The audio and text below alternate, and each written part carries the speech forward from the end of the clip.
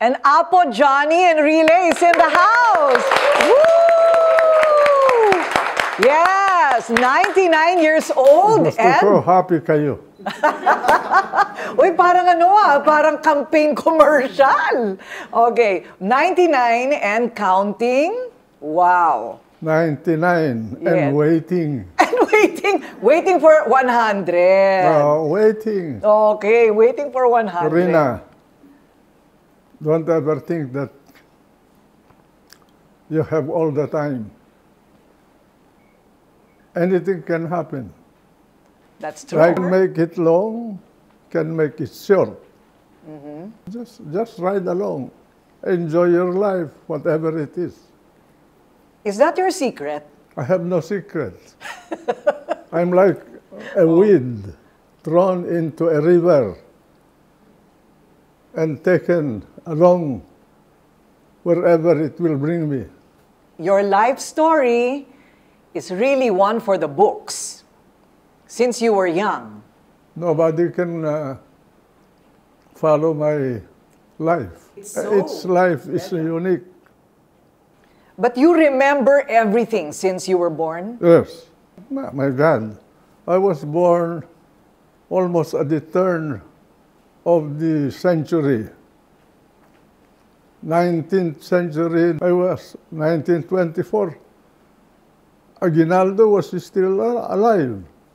Aglipa was alive. Quezon was alive. Si Apo talaga. Osmeña was alive. What about Adam and Eve? Ah, Hindi mo na Lapu-Lapu- naabutan. Lapu- Lapu-Lapu was still being talked about. No, no, I don't think so. Oh. Okay, so of course you know that that's the first question everybody wants to ask. Uh, you know, How many girls uh, How did many- I love? You can also you can also answer that question. How many girls? All I all I Okay. have to do is to sing a song to all the girls I loved before. You are welcome to start right now. No, come on. Ay, walang number. Suddenly, you don't remember, ha? Huh? Suddenly, you don't remember. There are some that I do not remember. by choice. By choice. Okay.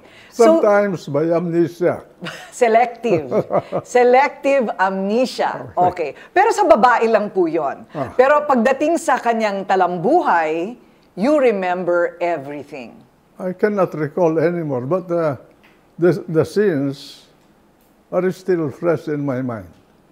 Uh-huh. But sometimes the faces, the names of the characters involved are uh, fading. You are very open about being anak sa labas. Yes, You always say that. that Why? that- why? that- that- why? that is reality.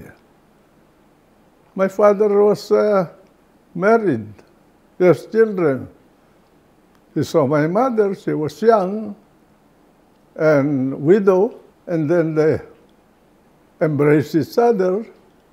They produced a Juan, Juan Juanito. Totoo ba? Embrace lang talaga. Ganun pala nung mga panahon na yun, ano? Tinginan lang, ah, nakakabuo na. I, I, did mind, I did not mind it. Right. In fact, in my school, they used to shout at me and say, eh, bastardo yan eh. Ah, ganun? How did you take it? I didn't mind it. You didn't mind it. Mm.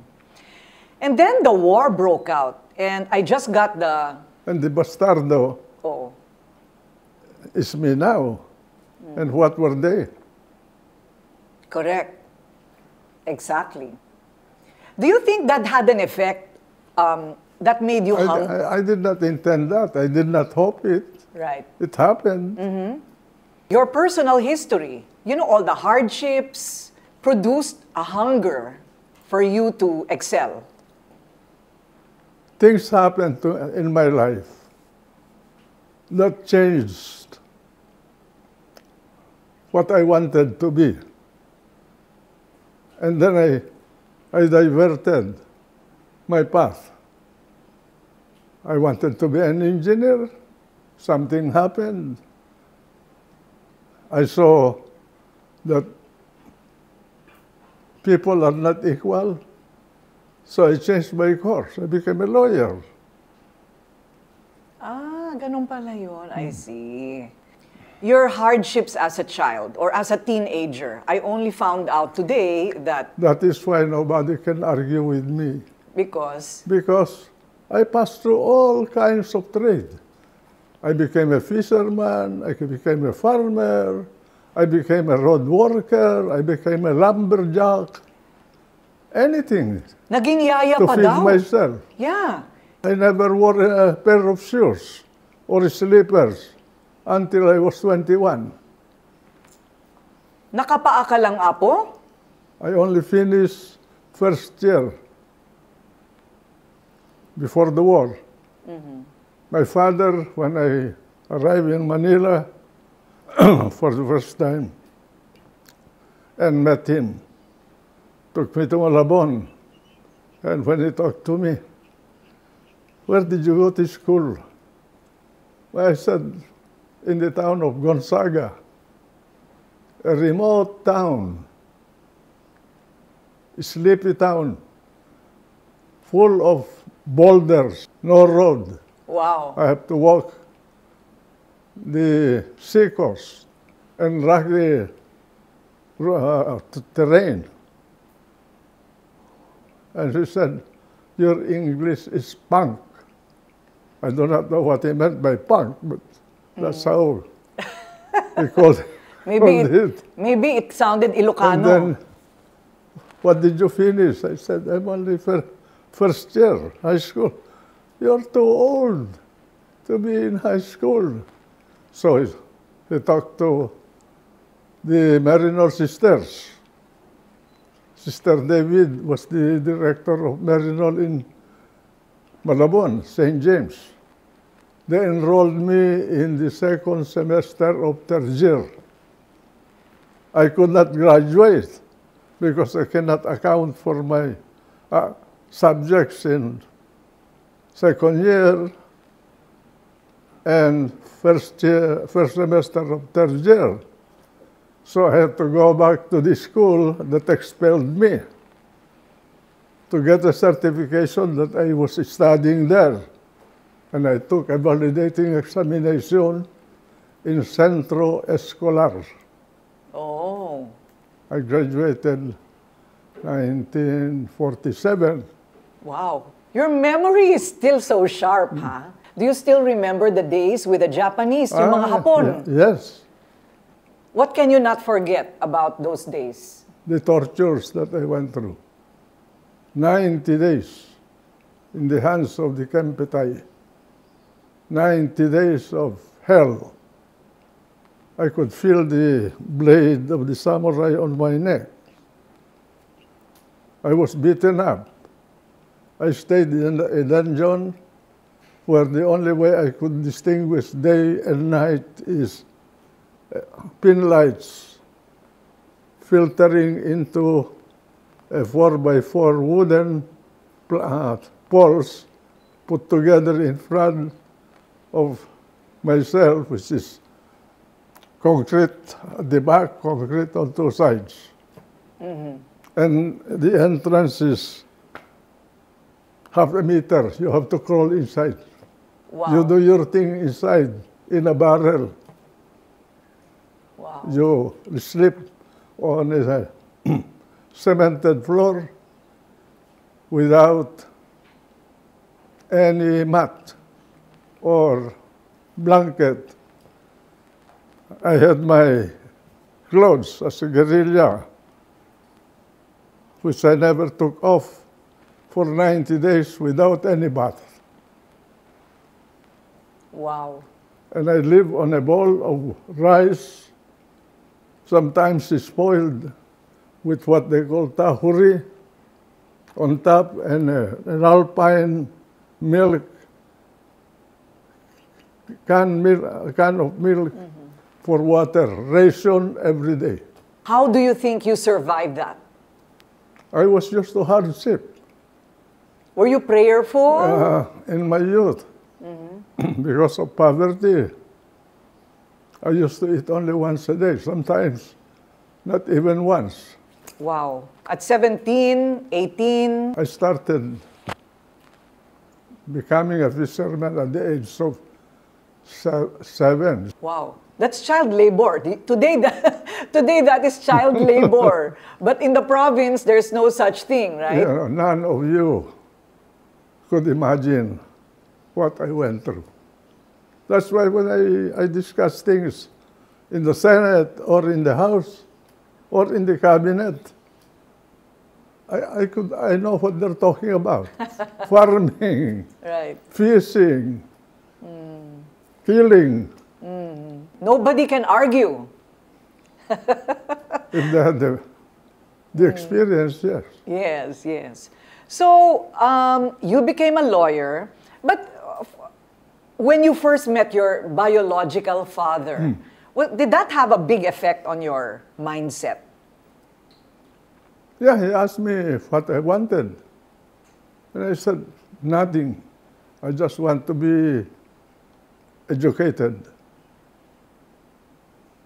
In fact, when he died, I, I gave all my share of the inheritance to my brothers and sisters. I did not receive any one centavo. Why? They needed it more than I did. I knew I can take care of myself. Your education, taking up law, is what opened your eyes to politics?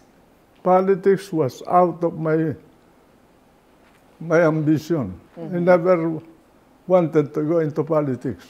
It just happened. I was uh, busy as a lawyer organizing businesses for foreign companies. Dole Pineapple, United Fruit, and so forth and so on. Dole Pineapple is still in Mount Matutum. The banana plantation was in Davao. I also did that.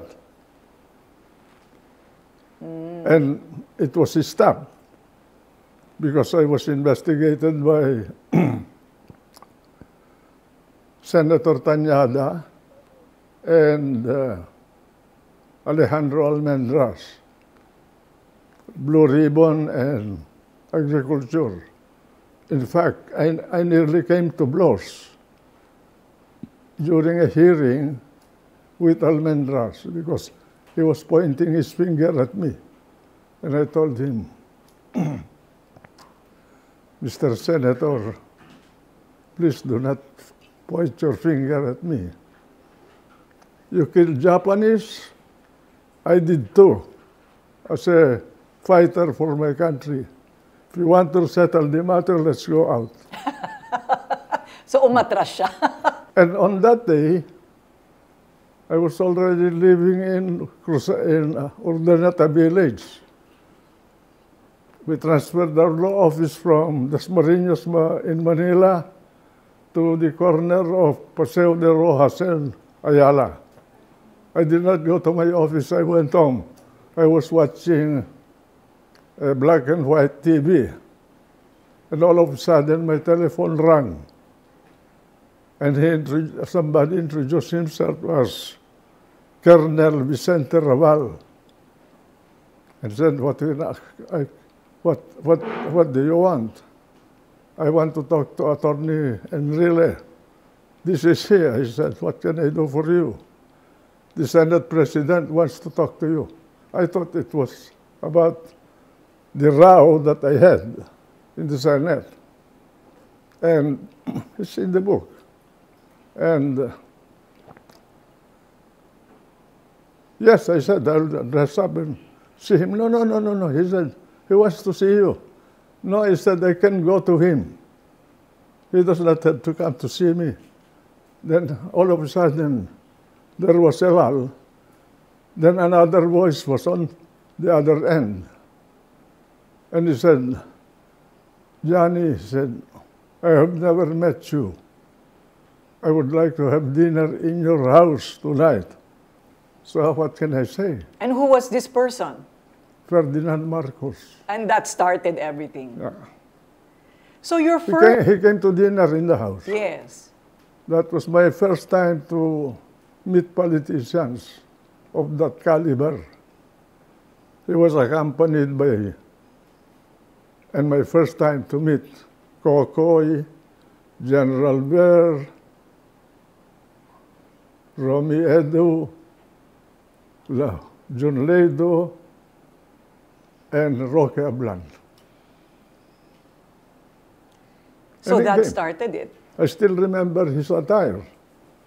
White, black shoes, black, black uh, necktie, white shirt, and pinned that creamy suit. And he came, and he wanted me to run for Congress. Ah. And I said, I cannot. I have to, uh, I have many clients, I cannot leave them. But, yung pala, hindi yun ang talagang pla, plano niya na eh, kung bakit gusto niya ako makausap. Nagkaroon siya ng problema sa probinsya ng Cagayan dahil he was banking on the solid north vote. This was at a time when the Nacionalista Party was going to hold a convention to pick out their candidate for president. The delegates of the Nacionalista Party in Cagayan, of which I was a member, was committed to Pelaez, Manny Pelaez, but I did not. And so, naging puwang yun sa Solid North.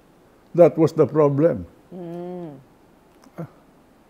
When he came, he did not tell me about the problem.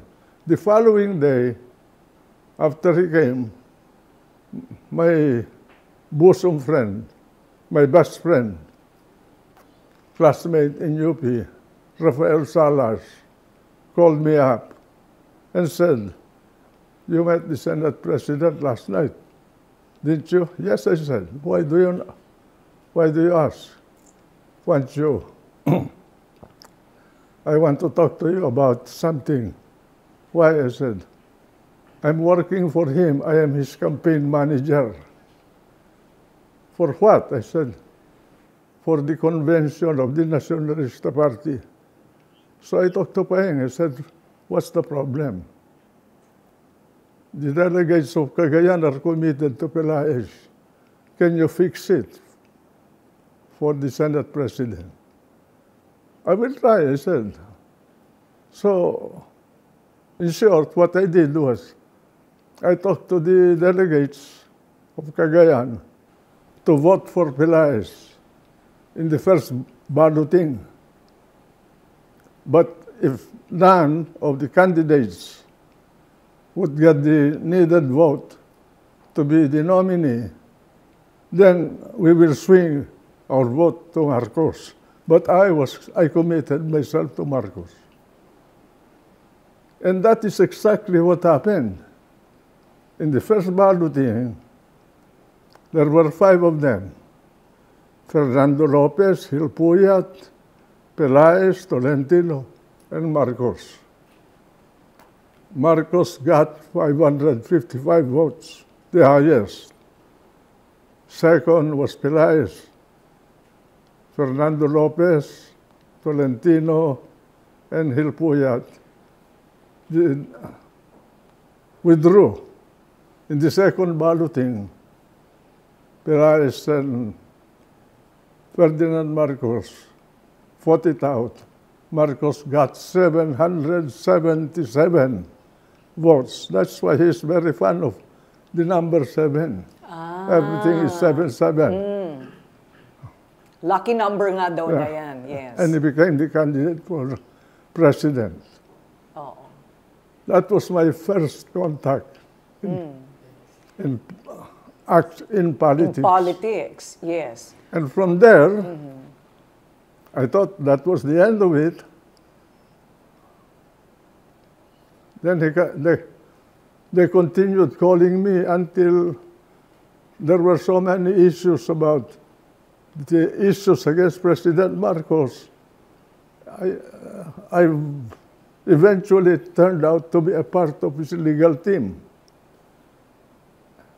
and became mainly one of two lawyers who served him all the way throughout his campaign.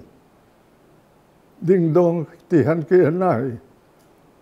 If you remember the iginuhit ng tadhana that really made President Marcos win, we handled that. Hmm.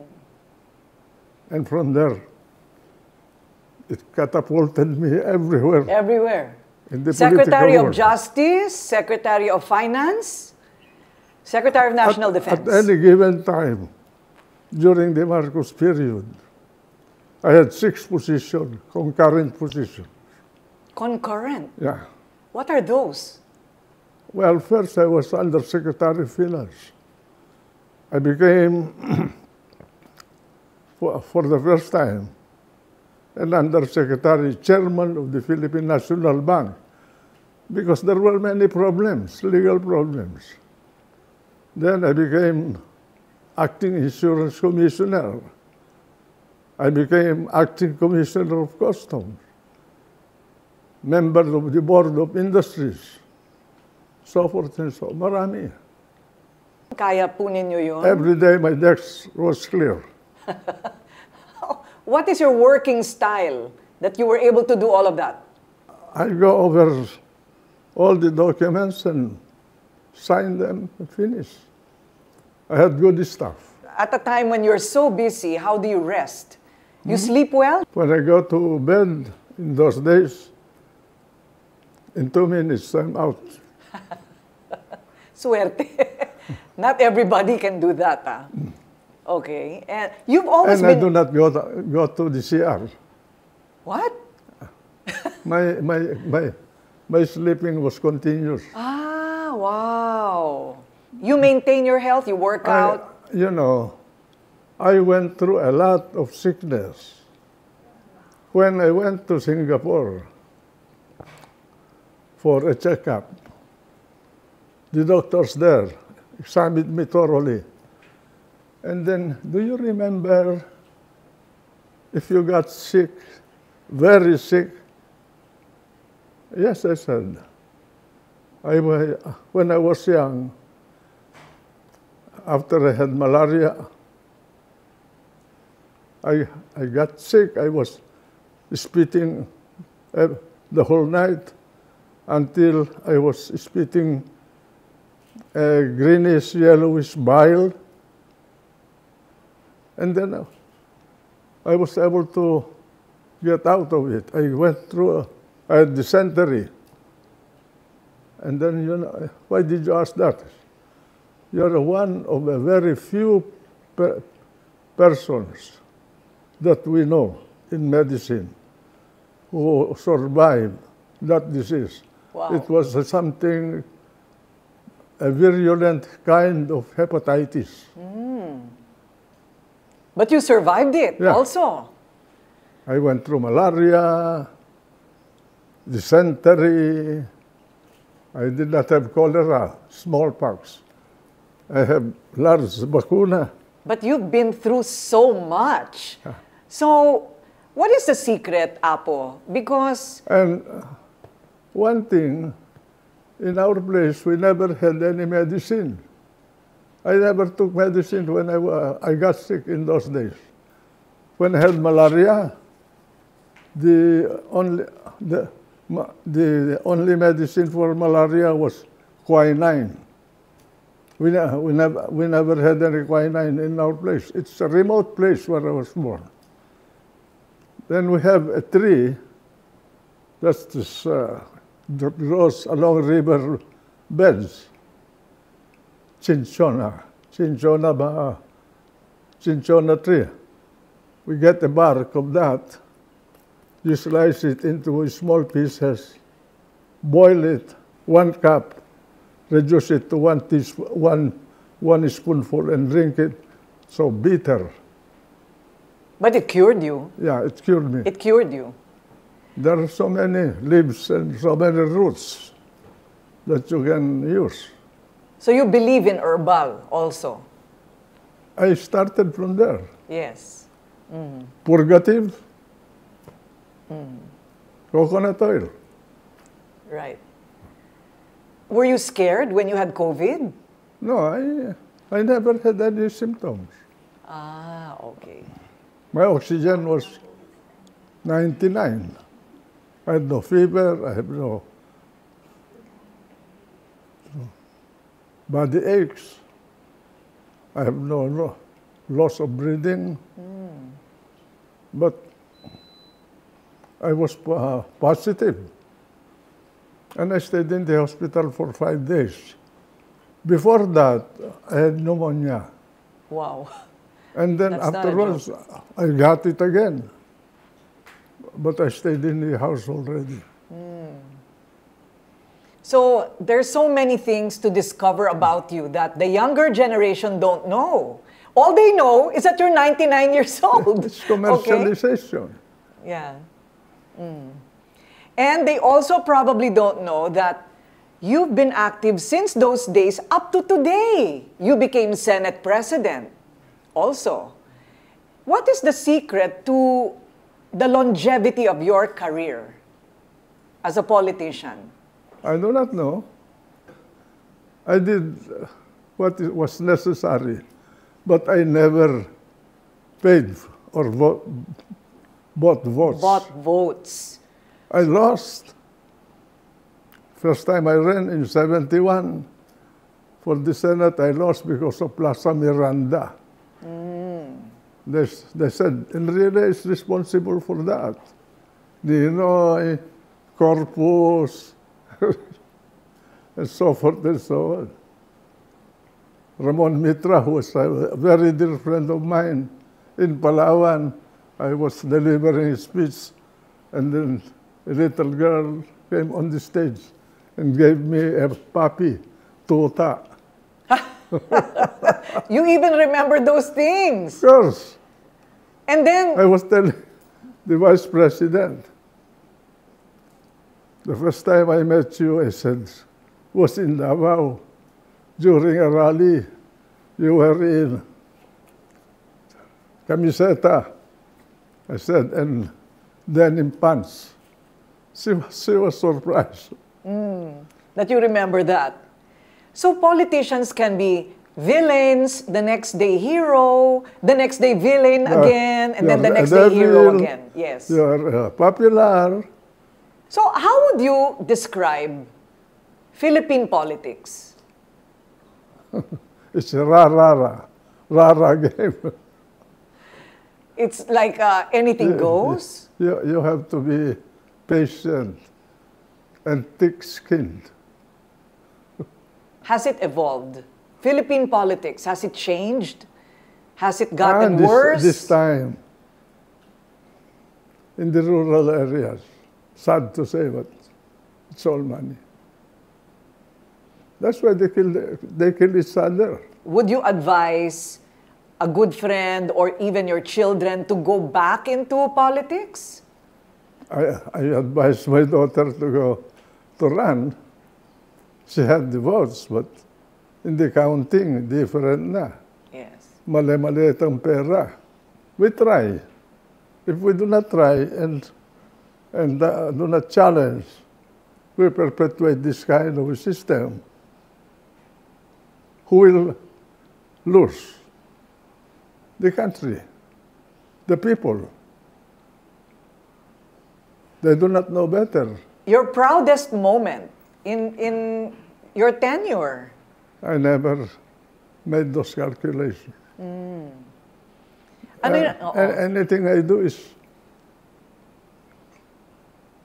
I, I never look at it as a source of popularity or hero, heroism. I do it because I thought it is right. It is a right course to do it. So you also believe in change of heart. Like history changes. history. Uh, you cannot have a set, immovable, unchangeable position in life. You have to be a realist, change course if necessary. Put your life on the line if necessary, retreat, run away if it's necessary. It's not a sign of cowardice to hide if the forces against you are too, too much to contend with. So you live to fight another day. You have to think all the time, anticipate. My God, I was three years in the jungles of this country. I started at the age of 17, fighting the Japanese with bolt action rifles, Enfields, and Springfields. Single shot. We ra ran out of ammunition. What did we use? Bow and arrow made of anahaw tree. You know, some of the fighters who fought the Japanese during the war were not like us. They ate us, the abori ab ab aborigines of the, of the country. They were hunters. My team was uh, composed of that. Mm -hmm. Would you have wanted to become president? I, ne I never intended to join the government. I never dreamed to wield power. It came. I, I served. I use it. Let the people judge it. Let history write about it if they want. And they can also read your book. Yeah. not well we written, not well written because I learned my grammar mm. not from teachers, but from a Marino sister. Okay. But this is really you. I mean, this is from you. And that everything I said there mm. happened. Right, right. You know, the manuscript of that is with Katrina. Mm. It's about 2,000 pages. There are so many things written there that were not included. Are you surprised the Marcoses are back? If, uh, if Noy can come back, why not a bongbong? Why not a jinggoy or some, some, someone else? Why not uh, a Macapagal Arroyo? Or a Robin Padilla? Puede. no, no, no, no. I am not joking. I talked to that guy. He does not know how to speak English, but he has the head. What should be changed politically? the gridlock that we have. Maybe uh, if we have to change the political system, let's try the 1973 Constitution without amendment number six. Sorry, which is? The amendment number six was patterned after the French Constitution under de Gaulle because at that time we wanted to hasten the reforms. And presi the president at that time, President Marcos, wanted to continue issuing PDs, which until today we are using, using those presidential decrees that we prepared during martial law. In fact, nobody can question about the way they were written. That's why they are still being used today. But you still subscribe to the presidential uh, form of government. Parliamentary. With the president as head of state, separate the state from the government. Politics will be played in the government area, but no politics in the state level. Then we will have probably a, a more stable,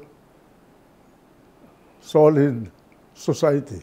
We must have a multi-party to give voice to different groups in the society. I see you still believe in multi-party, yeah. yes. Yeah, and you can work with coalitions. We must always represent in the government a majority of the people. Mm-hmm. What do we have today? A president we have, who does not represent the voice of the majority only, only now. Bong Bong represents the voice of the majority. Yes, because he has majority of the votes, yes. But should president and vice president, yes. we should change the system of the Senate. In 1935, or beginning with the Jones Law, when the senatorial system was first introduced, senators were elected by senatorial districts under the Jones Law. It was changed under the 1935 Constitution that was amended in 1941. 24 senators. Out of that 24 senators, 16 must always be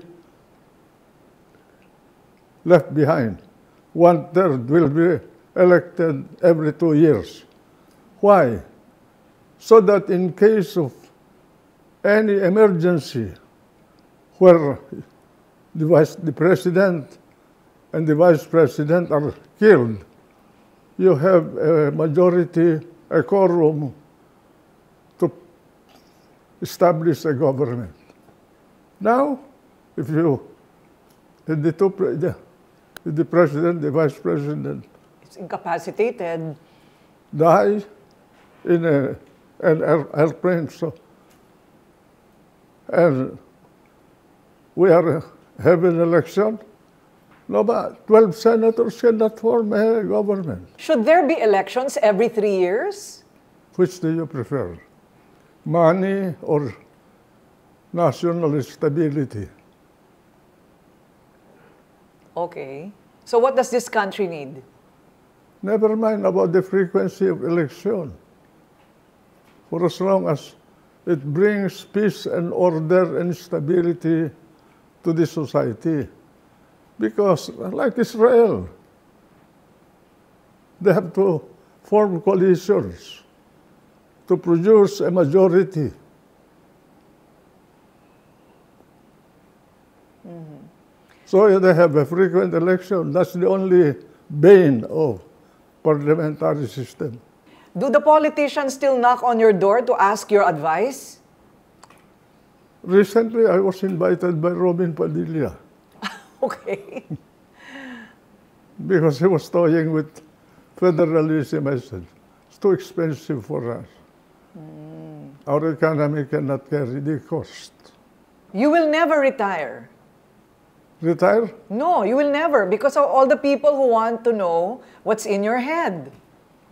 I, I um, whenever they needed advice and they need my what I know, they call me. I serve Cory. I serve Ramos. I serve Gloria. I serve Noy I, Era. Erap. I serve Marcos and Marcos. Duterte. Duterte. He asked me to help him in the West Philippine Sea. What is your advice about the West Philippine Sea? How should they handle that? Well, that, for me, we have to deal with China. Negotiate. If, if China negotiates with us, what does that mean? It means China itself recognizes our right in the Philippine Sea. But China has a claim. So we can talk and share whatever there is there to, to share instead of having an arbitral award that you cannot enforce. Consuelo de Bobo. Hindi pwedeng kaaway. Paano mo awayin ang China? You need their market. They are a big country. You cannot fight a country with 1 billion 450 million people with our 100 million.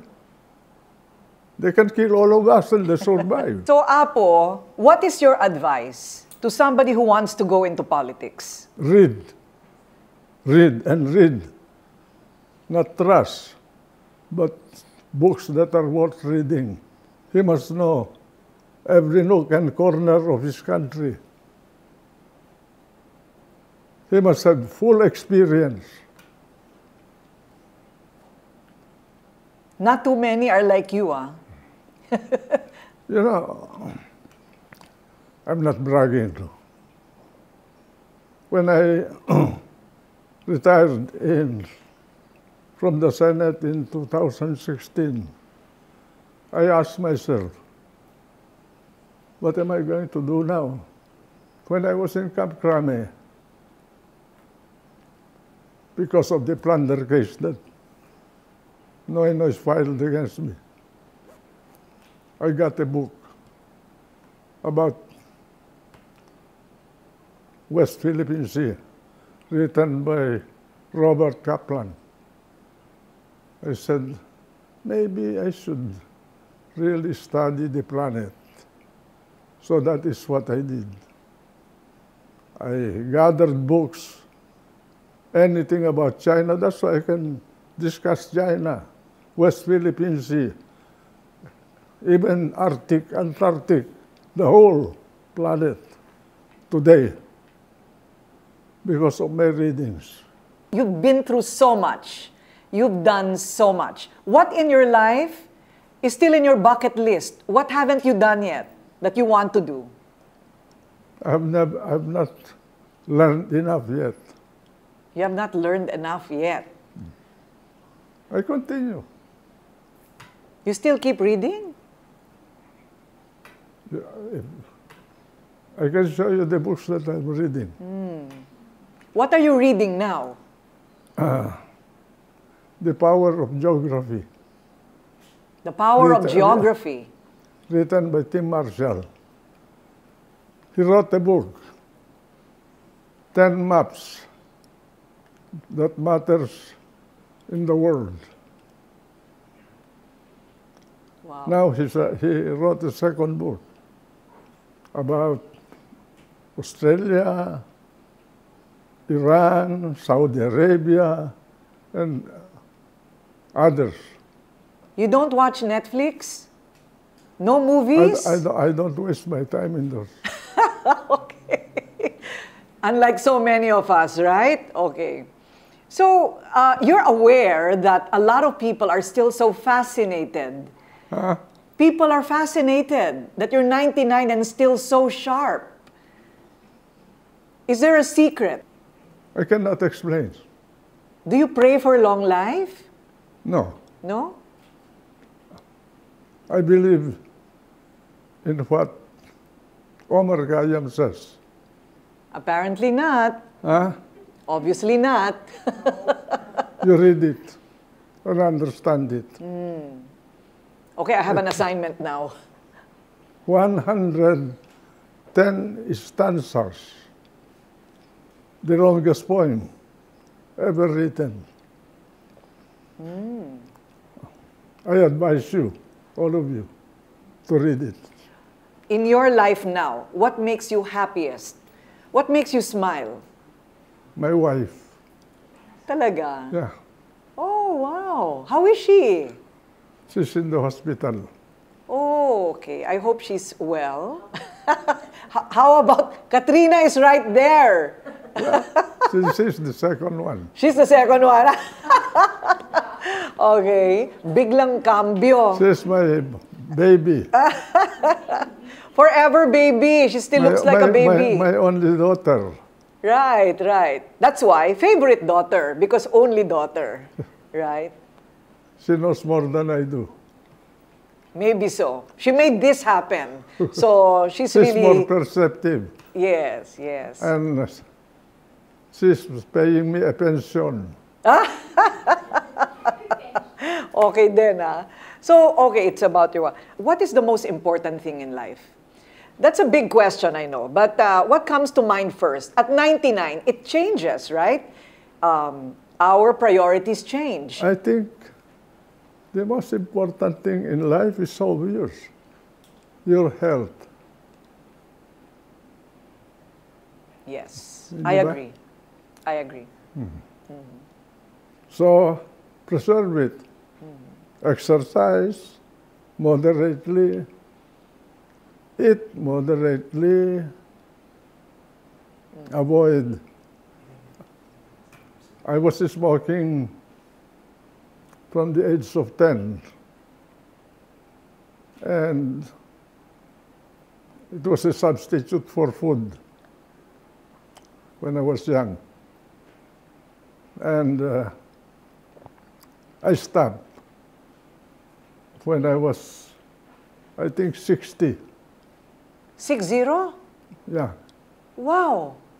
because one day I was coughing, and when I cough, I threw a flame, a very dark flame, on the basin of my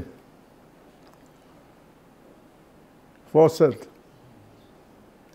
So I got so scared. What I did was I got all my packets of cigarettes, crumpled them, threw them in a trash can, poured water, and then ga- gave away all my cigarette lighters.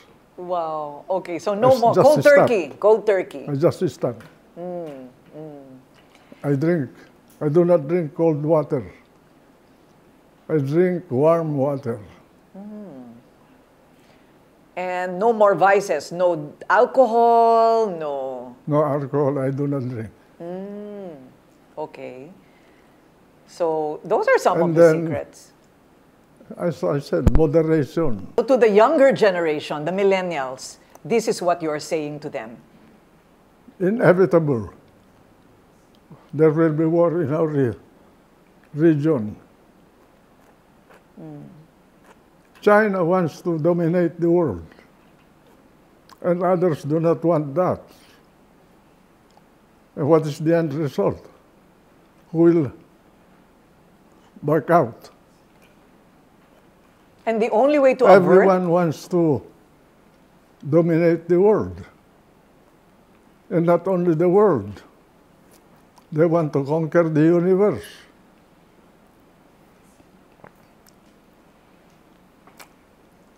Are you worried for I worry for my girl and her children,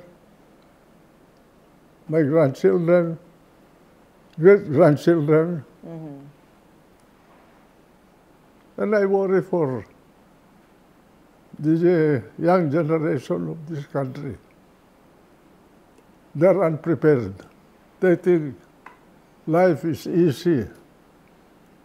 Life is going to be harder. You have to be very skillful to survive. how would you like to see or leave the Philippines? I would like a Philippines that can defend itself from other aggressive countries. Nothing is free. in this century. If America withdraws from the global arena to its own, you take care of your own exports, you take care of your own imports. What do we have to, to do that? If the, Strait of Hormuz and the Persian Gulf is blockaded, or the Strait of Malacca, where do you get your electricity?